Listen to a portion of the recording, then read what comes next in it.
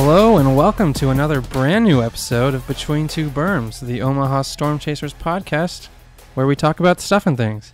I am your host Scott Pop, joined by my effulgent co-host Andrew Asbury. What does that even mean? It means brilliantly radiant. I'll take it. I only looked up positive ones. I appreciate that.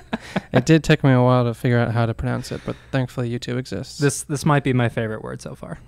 it's a good one. So how are you doing? I'm doing great. Uh, coming up as the point that we're recording this, coming up close to Christmas. Looking forward to going back to Kansas City, seeing some family. Um, but yeah, it's it snowed a little bit the past couple days here as we're recording this on Monday, the 16th of December. Um, but you know, Omaha does a pretty good job of getting out and treating the roads. So Yeah, I had no idea it was even going to snow yesterday, but I woke up and there it was. So, just for the record here, we are going to have a new podcast on.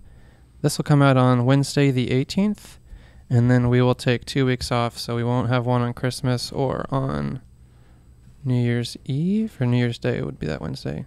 Either way, we will not have two podcasts on those days. I know you will all be disheartened to not hear our voices for an entire two weeks, but you know, take a look, take a listen back to some of our previous ones if you haven't already, and uh, look forward to the new year, some new topics.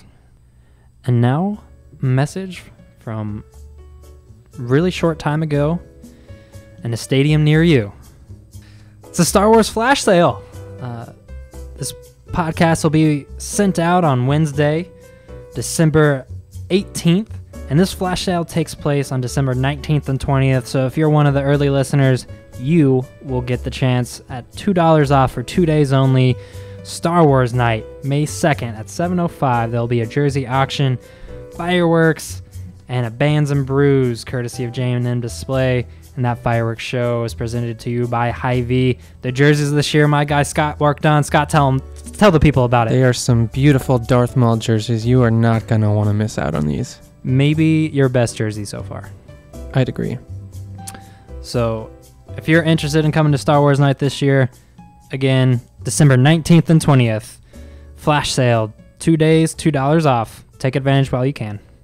All right. Today we are joined by a very special guest, president of the Omaha Storm Chasers and Union Omaha, Martie Cordaro. Martie, how you doing? I'm doing great. Uh, can you pronounce the first word again? Effulgent? Effulgent. I like that. Okay. And then, you know, since you've been doing this for so long, just plug in best of over the next two weeks so people just don't they don't miss you. That's true. We might be able to get some uh, short stints. get some uh, some of those practice podcasts we made. Might get those in there. And Yeah, uh, there you go. uh, There you go. all right. So. Uh, But I didn't come up here to give you guys ideas. You know, I'm the ideas guy. I'll stop. I'll stop. I'll he is stop. the think tank. I'll stop. Um, so, Martie, uh, give us a quick update on uh, soccer. Union Omaha is a thing, if people haven't heard. And uh, about baseball, our, you know, ourselves, Omaha Storm Chasers, and it being the 10th season coming up. That's pretty exciting. Well, it is. There's so many things going on uh, here at the ballpark. Uh, first off, it's the 10th season of Werner Park, which means it's the 10th season for the Storm Chasers, 50 for, 52nd season in franchise history, and then the inaugural season for USL professional soccer in the Metro, which will be right here with Union Omaha. So there's a couple things going on, uh, but uh, I'm eager for this Thursday night and this Friday, and I know we'll talk about that in a little bit, but there's so many things going on. Uh, you know, we have so much rhetoric going on in the world right now from a political perspective, from a social conscious perspective, uh, you name it. There's so many things going on. Baseball, a lot going on as well. But the entertainment side of baseball, the entertainment side of the, the movie side of the entertainment world, uh, and just being with family and friends over the holidays, I think I think those are things we all need to get back to a little bit more and uh, focus on our Twitter as I'm sitting here scrolling through it uh, a little less uh, than we normally do. Yep. it's definitely a time for the, the family atmosphere and less of the scrolling through Facebook. All As my grandma will say, if she sees your phone, she'll throw something at you. Got to be talking to the family when, when you're with them. For those who haven't heard Martie's come up story in baseball, we'll save that for another podcast. But today, today is all about Star Wars.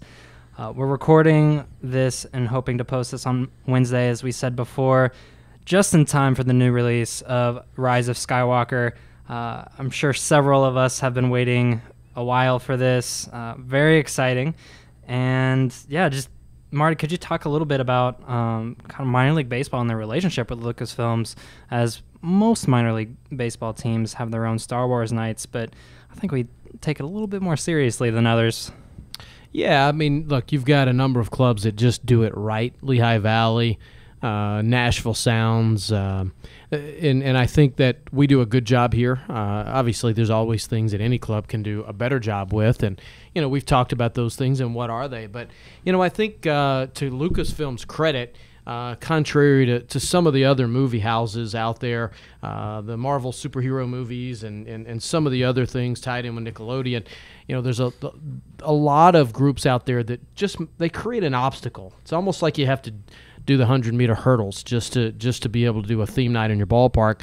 In essence, which yes, it's content for us, but it's also continuing to spread and to grow what a franchise is. And in this case, Lucasfilm has made the determination that they really want to work closely with teams or at least make it easier for clubs uh, to do a Star Wars night and to promote it as long as you fall into certain parameters. And those parameters have been through jerseys. They want to be more classic than you know the more modern characters. Uh, they also want to approve those things. They want you to work with the 501st Legion specifically uh, if you can in your market and if there's a group. And you know any any anything uh, that that deals with an auction or anything that deals with merchandise which they do also allow and approve merchandise in your team stores they want to make sure that it's tied in with a local charity, whether that's Make a Wish, which is a big Lucasfilm and Star Wars charity, or some of the others. And to me, all those things are tenants. They're all core to what we do here at Werner Park with the Storm Chasers anyway. So it's almost just like rolling out of bed and, and you know and hitting 390 like George Brett George Brett did in, in, in 1980. But um, you know, Star Wars is close to to my heart. Obviously, uh, 1977, I was uh, four years old, and you guys obviously weren't around. But uh, you know, my dad took me. Okay, boomer. No. yeah, I'm close, but not there. Come on, give me a little credit. My dad took me on the second release of Star Wars when it was re-released on the back end of '77. I didn't go on, on on the front end, but I was born in '73, so it was four, four and a half.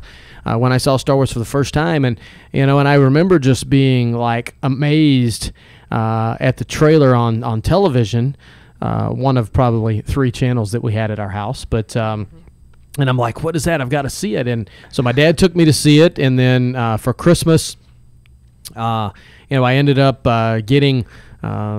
The mail-in certificate that said, you know, you can you can mail this in, and then you get four figures back in the future. And you know, and you guys I know don't know a lot about toy collecting, but that was that was something that was really unheard of at that time to not actually have physically have the plastic, to not physically have, uh, you know, the vinyl, and the rest really is history because the early bird certificate. And man, I wish I had gotten the early bird and had not opened it and had sat on it, um, much like a lot of my toys. But toys are made to play with, Yeah. and you know, and but that was really my start uh, uh, for for liking Star Wars. Um, you know, I'm since I was young. There really wasn't a deep, oh, I like Star Wars because of the social meaning. I like Star Wars because of the spiritual meaning. I like Star Wars because of its sci fi. I just like Star Wars. I was a young peanut kid and I thought it was cool and I kind of grew into it and you know my lo- my love for Star Wars now isn't that I know every single fact and every character's name and every character's backstory and that I've read every novel. I just genuinely like it. I just think it's something cool.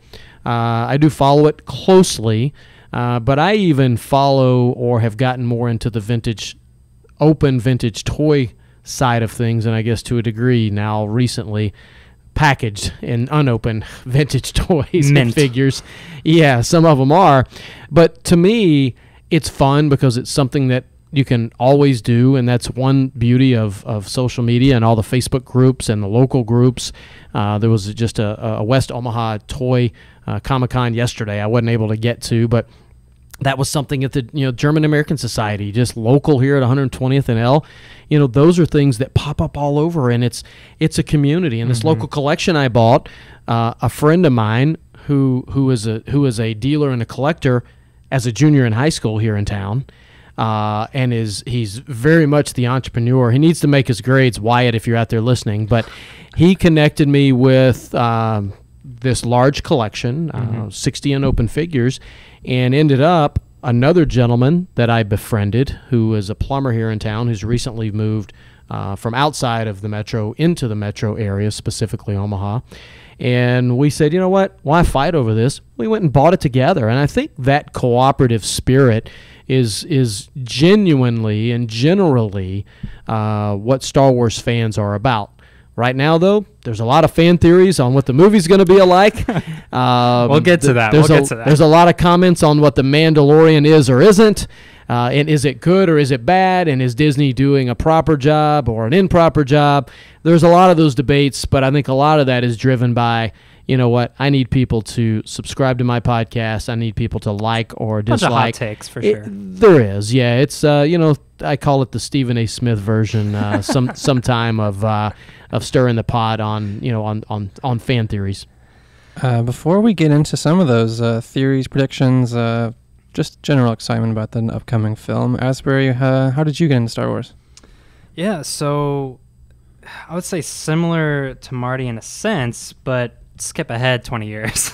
Was, uh, in the re-release, and I think it was 1996, was probably some of my first, um, you know, reveal to Star Wars. It was I just remembered having a original trilogy on VHS and a gold, you know, gold packaging, whatever that was, um, and that was kind of my first uh, intro into Star Wars, and then obviously with the Phantom Menace in '99, um, which a lot of people make fun of the prequels, and rightly so when you're looking at at it from you know an older perspective. But as a kid, absolutely loved that movie, and it just made Star Wars all the more uh, amazing to me.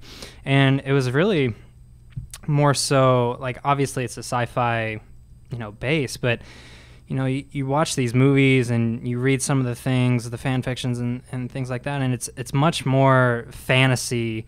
Uh, it's just as much fantasy as it is sci-fi, and I absolutely love fantasy stories, the hero's journey, and, and things like that. And you know, that's I think that's really why I kind of grew into into it because it's just so much action and adventure, and you know, there's politics to it, there's religion to it, there's just so much involved in the entire universe that there's so much to explore and that has yet to be explored. I, I, agree. And one, one quick thing when you talk about episode one, I liken episode one a lot to what we do in baseball.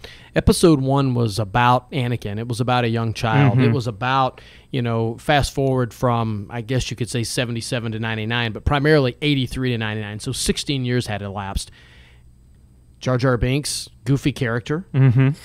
Padme, one of the first strong female characters. Star Wars was has always been on the forefront. You know, Carrie Fisher, obviously. I mean, you go back then, that was very unheard of. But Rest even even still in '99, so you take strong female character, goofy, whatever Gungan, whatever Jar Jar was, but primarily you take Anakin as a young boy. It was marketing to a whole new generation. So Exactly. Forget the debate on how well the movie was written. Forget the debate um, uh, if it was a good film or not. Uh, were there holes in it? Yes, of course. There's holes in any Yes. film. but but it was it was an opportunity to market and and because at the time. You know, my oldest son Gavin. You know, he, he was he was young. He, he had he had just turned four uh, when we went to see that film, and uh, he loved it.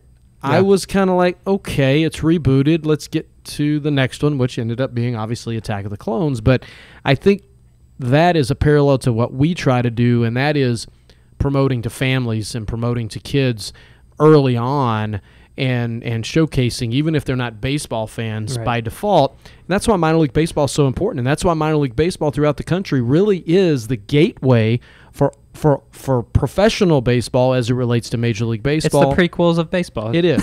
it, it it is. It absolutely is. Um, and and to your point, I it did exactly its job. It, it got me, the younger generation, to buy into Star Wars with the characters that it had. Um, and again, I think that's why it was so great, and was because it t- really tailors to each generation. So, Scott, what about yourself? Um, I'm not that into it as much as you guys are. I actually never like. I'm pretty sure I saw the Phantom Menace, but I was like, I don't know, three years old or something, so I don't remember it at all.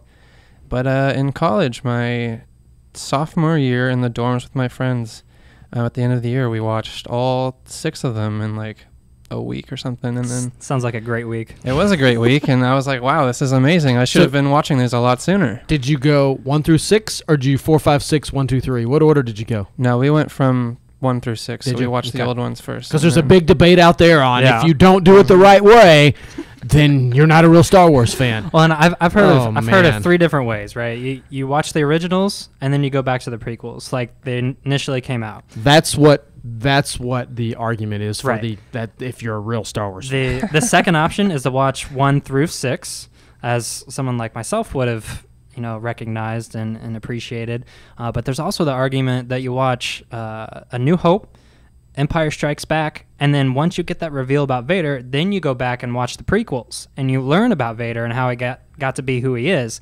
And then you watch Return of the Jedi, and it all kind of all comes together. So I thought that was an interesting way. I haven't watched it like that before, but it's it's on the to do list. Yeah. I think if I'm suggesting to anybody for the first time, I'm gonna f- throw a further curveball. Not that you will surprise you guys. Let's talk I- about it. I think I think you do four, five, six, Rogue One, Yep. then one through three, and then and then seven through nine. I I think that's what I would do if if Rogue One. Uh, would not have been written. I I may not have that big of, of a debate whether you do one through six or the original way, uh, but uh, Rogue One to me, uh, of the four films that have been out, Solo, Rogue One, uh, Episode Seven, Episode Eight, Rogue One to me is by far by far the best. Uh, I I even have it in my up in my top three, top four for sure.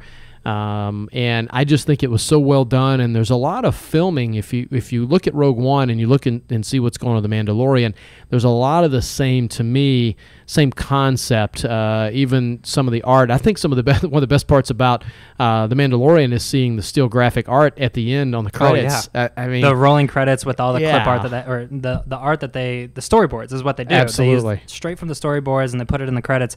It's incredible. Whoever the artist is is phenomenal, and the way that they match the actors and the characters to that uh, to that art is pretty identical. It's you know side by side. If it wasn't you know a picture, and you wouldn't know.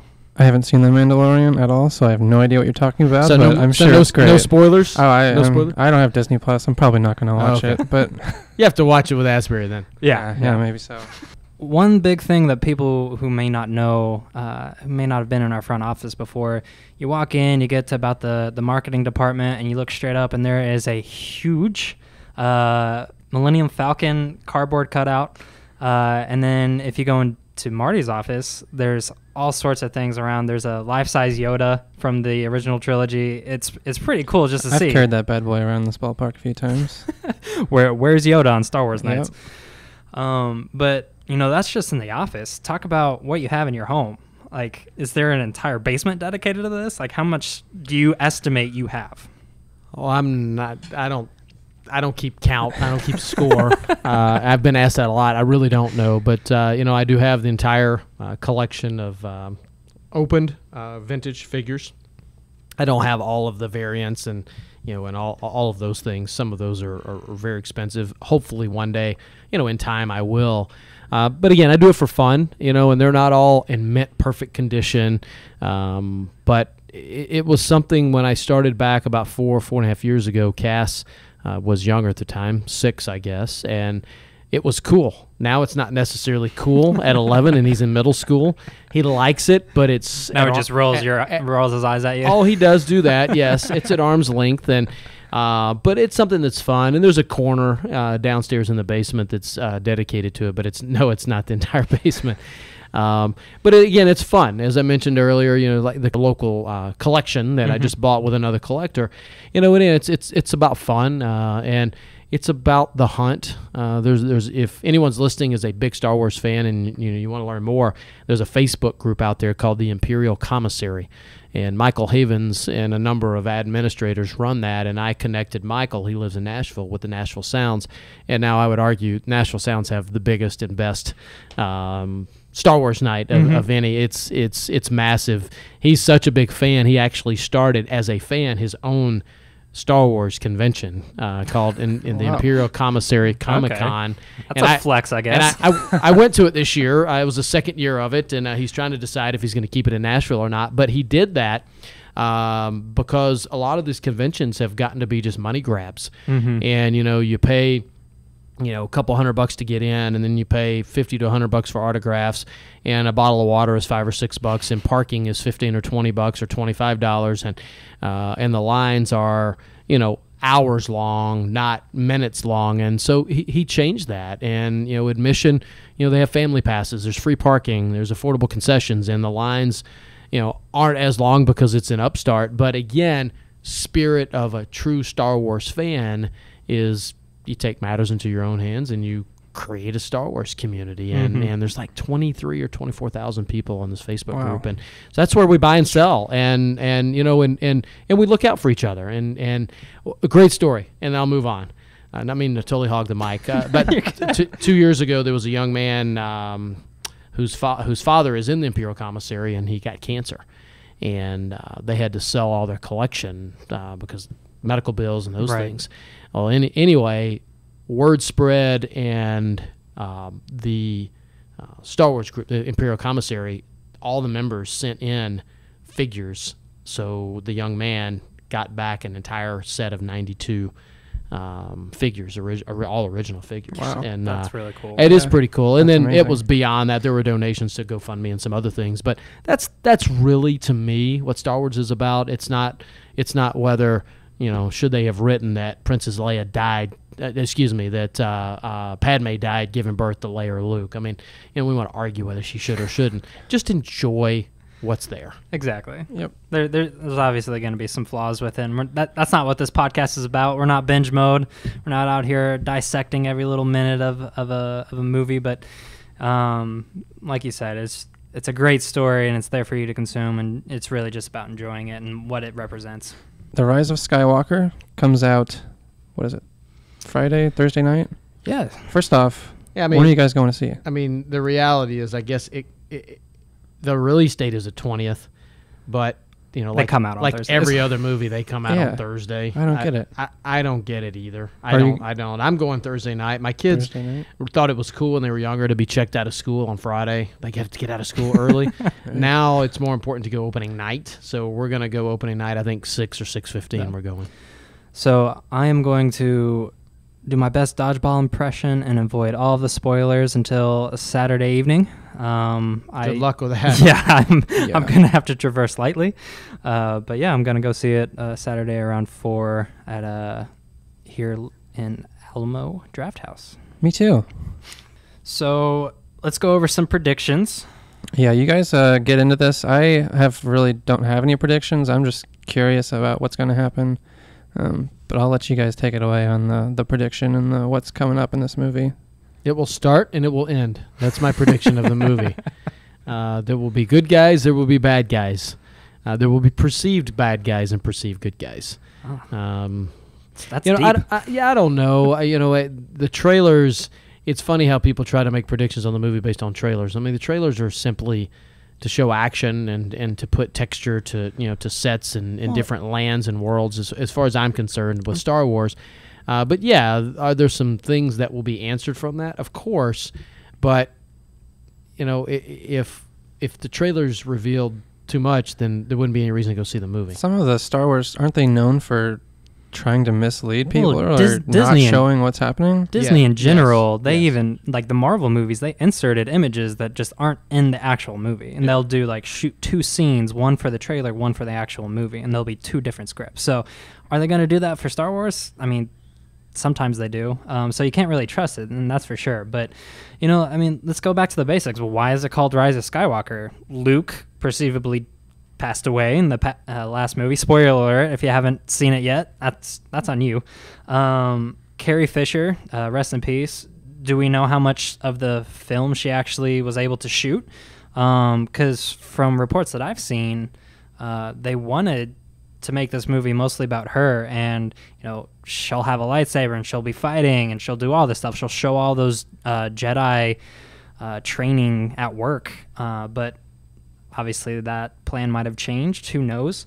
Um, could it be something about Rey? Could it be something about Ben, aka Kylo Ren?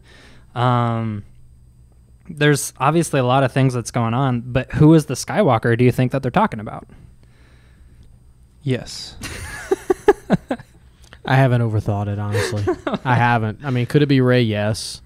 Uh, could it be Luke? Yes.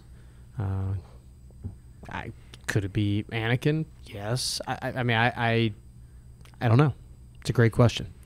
It's fair, but that that's definitely something that's just been on my mind constantly. Uh, just why is it called the Rise of Skywalker? Uh, again, I, I think Carrie Fisher. Uh, hopefully, she was able to film most of it, and uh, but it sounds like maybe a lot of it might be centered around her. But again, she's not the focus of this new trilogy. Uh, it's mostly about Rey, Poe, and Finn. So who knows where they're going to go with that. Uh, the other thing that the trailers have been teasing hard is Emperor Palpy here. Uh, do you think he actually survived the fall in Return of the Jedi? Well, they told us he did. Well, what was that? Was that was that just in the trailers, or was that? I mean, obviously you hear his voice in the new trailers, but um, do you think he actually survived? Do you think he's a Force ghost? Well, I mean, there's been some fan sites that have Mhm. said, you know, he he's able to um, basically ho- go into a host body. So like a Force ghost possession. Yeah, could he could he have been could he have been Snoke? Could he have been X? Could he have been Y? Could he have been Z? I don't know. Well, the the latest trailer for sure kind of hints at that. Um, he's talking to Kylo Ren, saying, "I have been every voice you've ever heard in your head. Uh, I have been Snoke. I have been Darth Vader."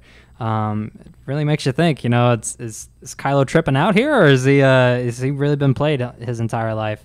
Um, you know, a, a fun thing to think about is could Palpatine be a clone? Um, there have been non-canon stories out there that suggests that he's cloned himself in the past. Um, obviously, they're not in the movies; they are um, solely one-offs or uh, novels, or uh, maybe it's even in the Clone Wars animated series, uh, which I'm also a big fan of. They have a lot of cool uh, stories that they kind of weave in and out of there.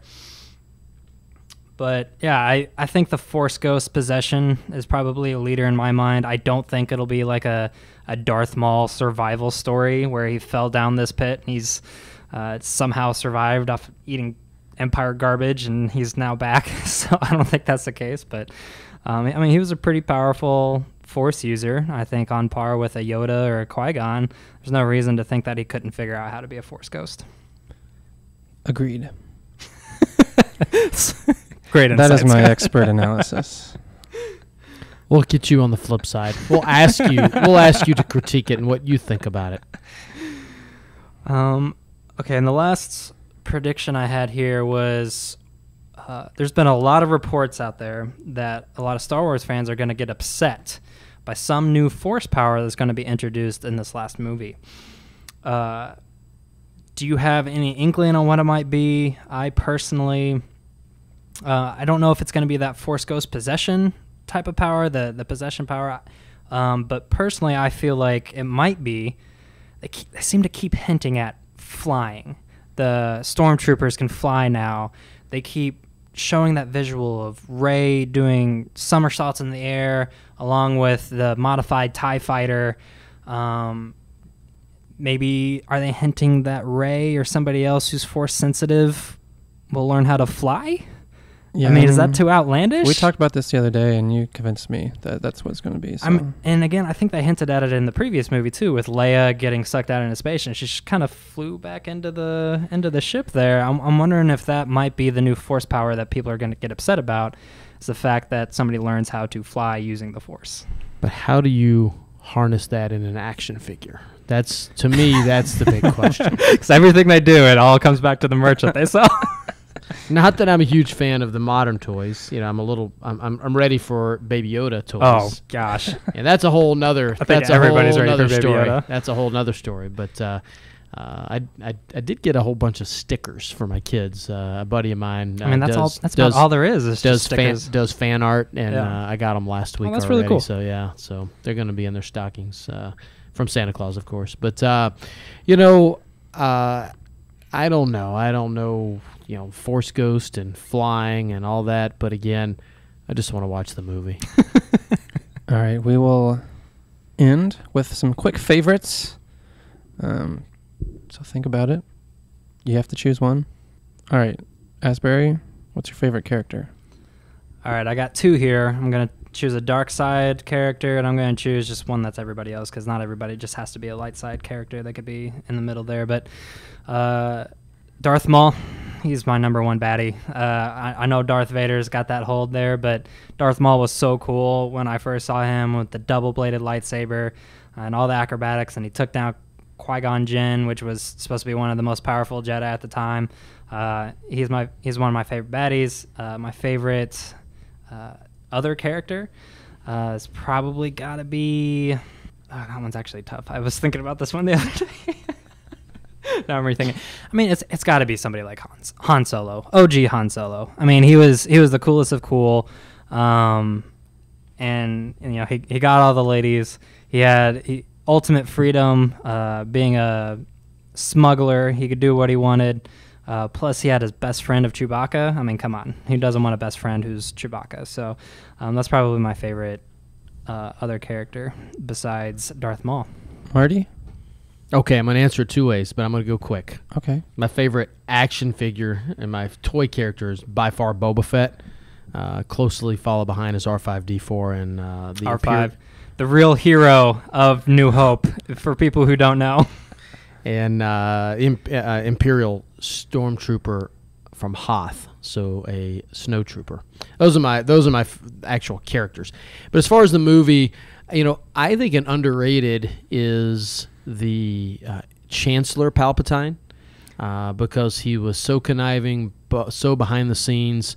Um, I think I think he's underrated. I really do. He he is so like everything that he touched was all a part of his plan. It and was. It all worked out at the end. It, It- was incredible. It did, and so I think he's underrated as a baddie, if if you will, uh, from a standpoint of of droids.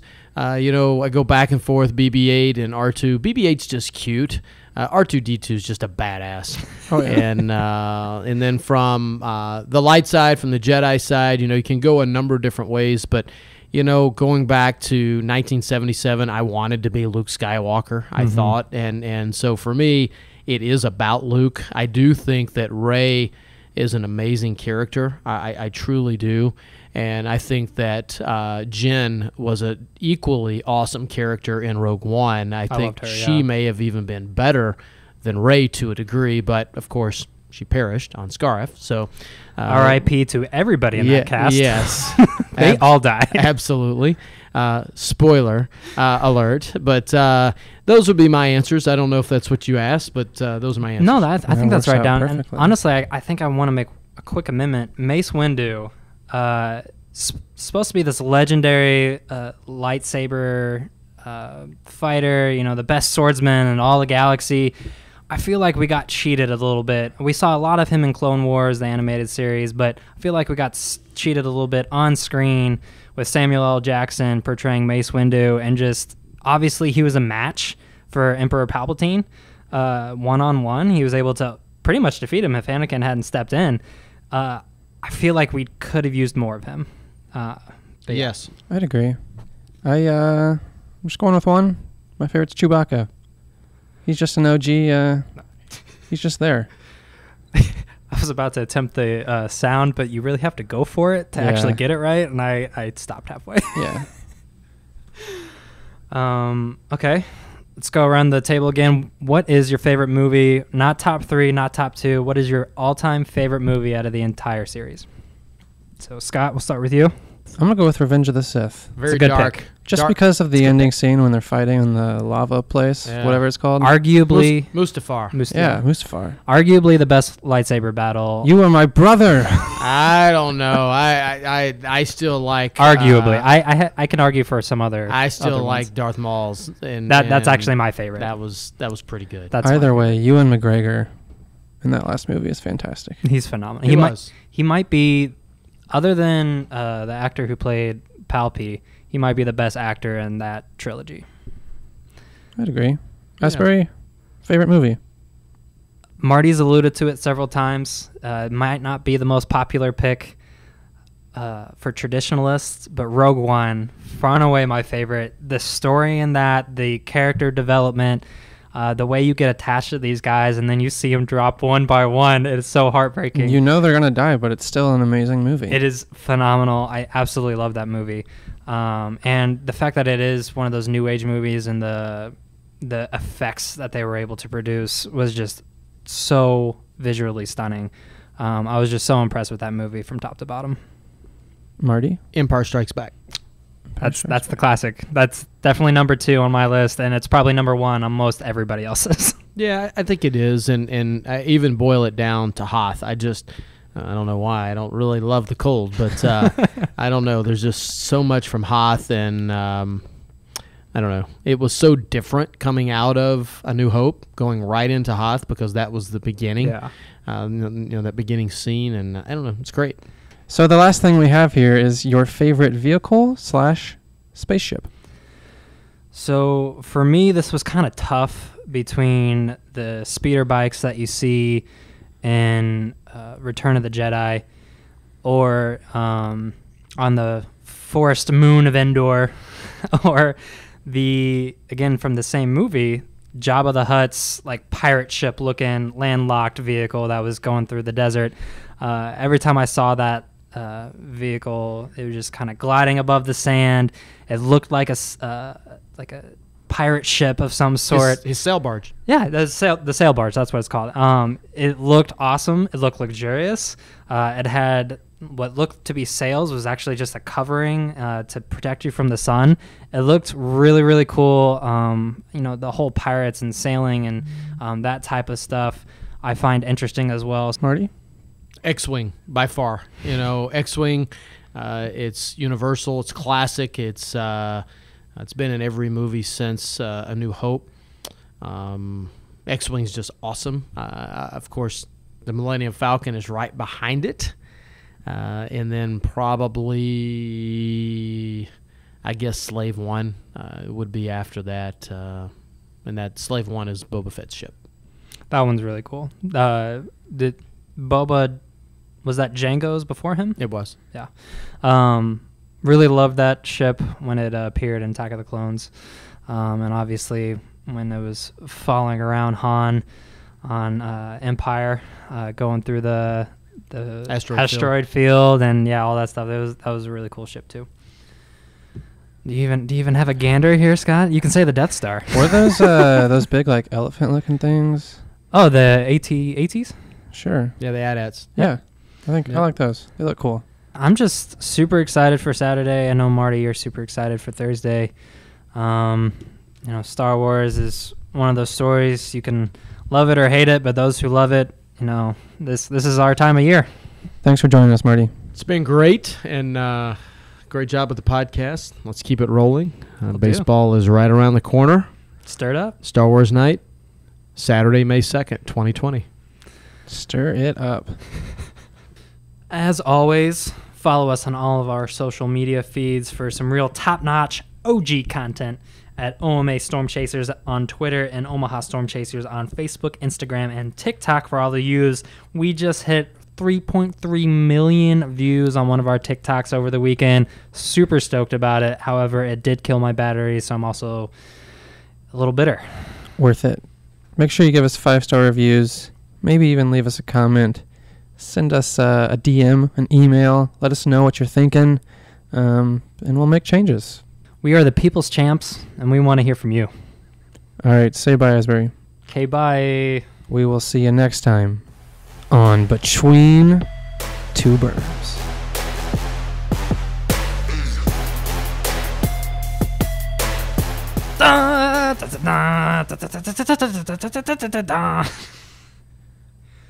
Give Chewie a medal. Do it. Also, Baby Yoda, cutest thing. Kill ever. him. No, I'll kill you.